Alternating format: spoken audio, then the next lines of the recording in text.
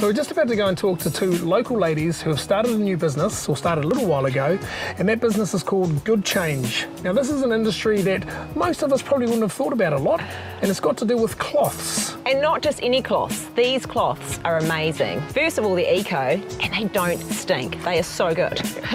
anyway, let's go meet the ladies. So we're standing here with Stine and Kristy. Thank you for talking to us today, ladies. You're welcome. Very good. Owners of Good Change. Um, absolute fantastic business here you've got, guys. Thank you. First question of mine is how long has it been going? And cloths, how did you get into that? Well, the clothes are exciting. um, we got into the business been live since uh, almost a year now. On the website? August, August last year. Cool. Uh, or um, we launched about a year ago. Yep.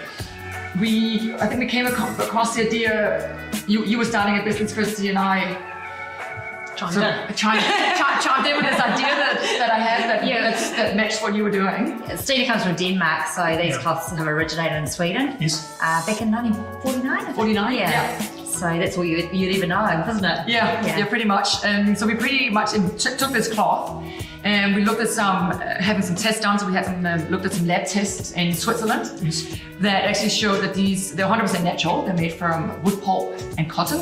Wow. So um, the unique thing is that they fully compost in your garden. So not a professional compost or Yeah. a, but actually in your own garden or a piece of dirt. Yeah, and because of their composition, because of the wood pulp and cotton, they don't actually smell. Um, Yeah. so No. They don't harvest bacteria. Absolutely. They so do that's not one of my favourite features. Um, obviously, bacteria likes to live in wet places, and because they dry super fast, um, you don't get that. So we've got some other products over here, which is your standard sort of cleaning cloths and things Yes. like that. Yeah. So compared to those, Well, so we thought we'd um, just show uh, some. One of the reasons why we wanted to do this class was that there is a whole, obviously, a wave of people being conscious about consuming the right way, putting their dollar in the right place. And you look at this, you can just hear that this is Plastic. This is, this is plastic. It's a kind of plastic. You know, there are different kinds of plastic. This is the super best plastic.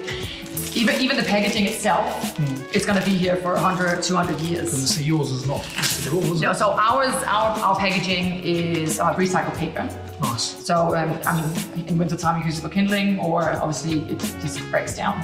So I think one time you were telling me, Stine, even paper towels have plastic in them and things like that. Yeah, well, paper towels, well, first of all, most paper towels are wrapped in plastic, same as these. Um, so, and they're also what we what we call single-use Yes. paper towels. So there's a lot about single-use, be, being a bit more concerned about reusing instead of just having single-use items. So these last for a long time. So these last for six to nine months. We also Wow. have these guys here, which uh, which are the wipes. So that's probably your replacement for the single-use paper towels. Yeah, or a replacement for your, your synthetic rolls. Yeah. Yeah. So even the rolls themselves, once you get rid of the plastic, so one, one thing is the packaging, but then you actually got all the synthetics in the cloth that releases microplastics into the waterways. You know, you Yep. got all these fishermen gutting the fish, and out comes all these. yeah. And then we, you know, those are the fish.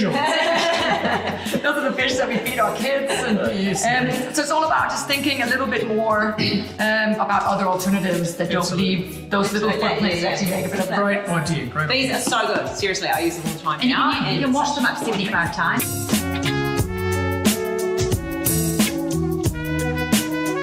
And we're going to do a bit of a giveaway too, so remember, um, follow the details below, guys. And we're giving away, what was it, four packs? We're giving four packs. Four packs, so that's one pack. This is one pack. Four of those, so, So that's a, a full kit to get you Yep. started. perfect. Perfect. Yeah, and this one has three three different cloths in it. I started with that, but now I'm thinking I just might have to even upgrade to the, Yeah, to the big guy. this is a new launch, and it's actually um, an alternative to, to like a chamois that you can wash your car with. Yeah. Nice. You can use it on outdoor gear and stuff, but it's just for people with, with bigger hands, like me.